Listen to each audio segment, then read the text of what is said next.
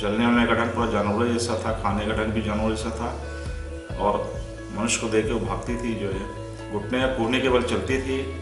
खाना वाना जो है अब ज़मीन पे गिरा के मुँह के, मुँह से खाती थी, हाथ से नहीं खाती थी। और लेटिंग भी इधर उधर कर देती थी, बहुत ही परेशानी थी उस समय जो आई थी।